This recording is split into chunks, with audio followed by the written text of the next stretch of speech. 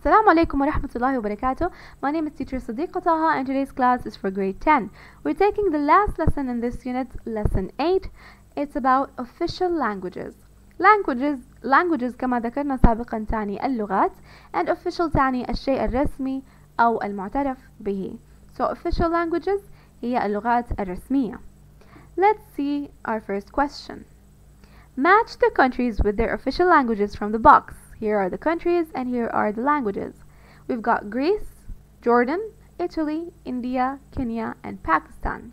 Greece بالعربي هي excellent اليونان Jordan الأردن Italy إيطاليا India الهند كينيا هي كينيا وباكستان هي باكستان بالعربي أيضا Greek, Hindi, Arabic, Italian, Urdu, English are the languages and some of them are clearly uh, are clear where they belong to.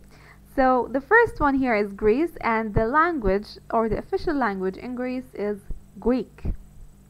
Hindi is the official language in India. Arabic is the official language in Jordan. Italian is the official language in Italy. Urdu is the official language of Pakistan. And lastly, English is the official language of Kenya. Let's move on. Here it says read the assignment below, then do exercises A to C on page 16 of the workbook. So we're going to read it together and try to discuss it, but then you're going to have to go to your workbook and do the exercises, then show it to me later on. Okay? Let's start. Canada is the second largest country in the world after Russia. It is 9,979,619 kilometers square. It has a population of 31,946,300 and that number is growing. But Canada's, Canada's population is not large for its size. Most people live near the border with the USA. Canada is a beautiful country. Because it is so big, there are many parks and wilderness areas. If you travel to Canada, you can see rivers, lakes, forests, and even glaciers. One of Canada's most famous natural features is Niagara Falls. How do people live in a country with two official languages? The two official languages of Canada are English and French, because some Canadians are of British origin and some are of French origin.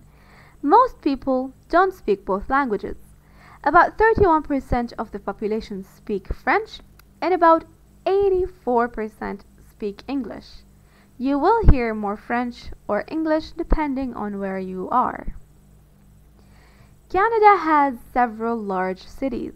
The biggest of these is Toronto. The capital of the capital Ottawa is only the fourth largest city. In Ottawa, about half the people speak both French and English. Communication is easier there.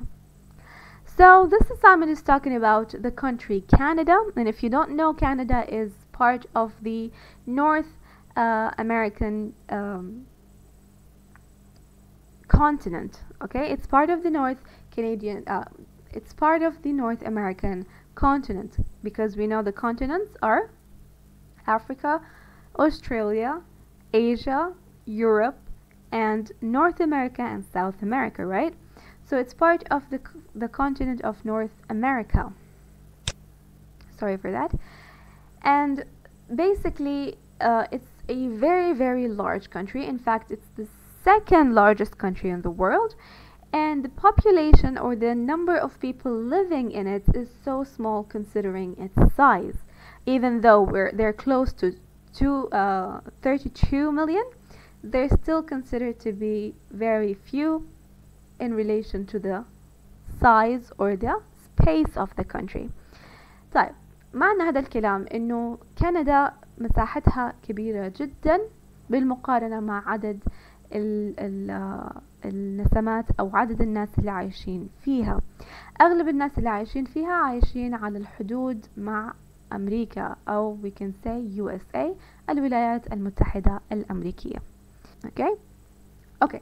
So they also said that Canada is a beautiful country because it is so big. There are many parks and wilderness areas.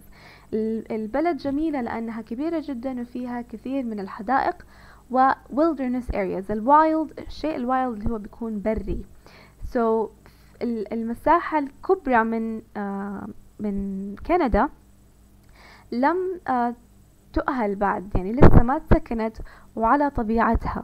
يعني موجود في عنا forests عنا آم، صحراء عنا أماكن فيها جليد عنا أماكن فيها اللي هي ال ال بشكل عام الخضرة ال- المنتشرة أوكي؟ لم تمس من البشر وما زالت على طبيعتها. Wild برية. Wilderness areas.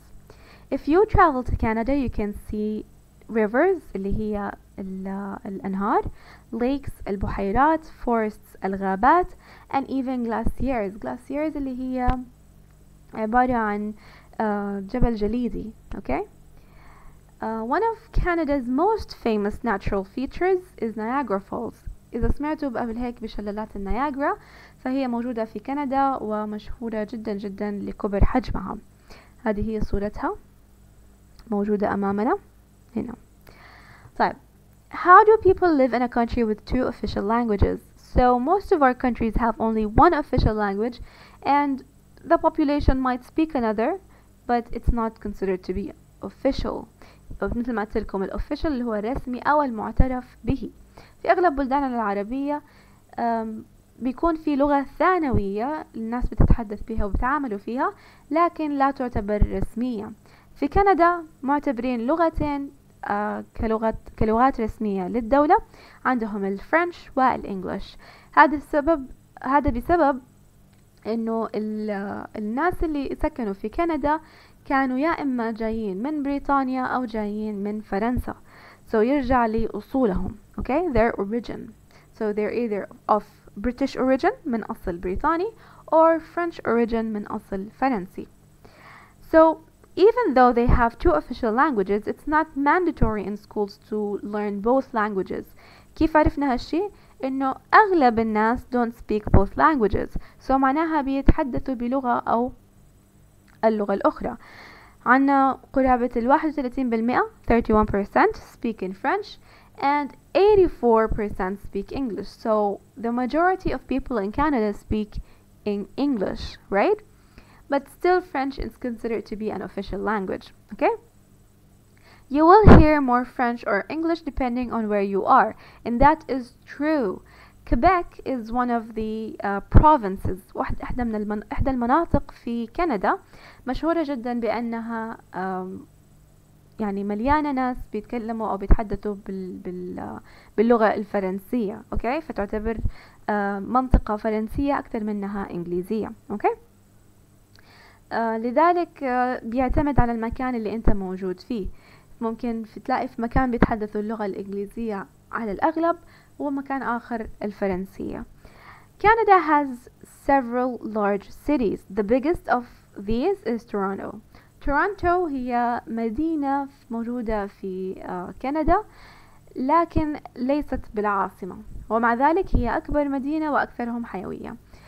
The capital of Canada هي أوتوا يعني عاصمة كندا هي أوتوا مع ذلك هي the fourth largest city رابع أكبر مدينة يعني ما جات في المركز الأول ومع ذلك أوتوا هي العاصمة لكندا In Ottawa, about half the people speak both French and English. تقريبا نصف عدد النسمات أو السكان لمدينة أوتوا يتحدثون اللغتين الفرنسية والإنجليزية معا.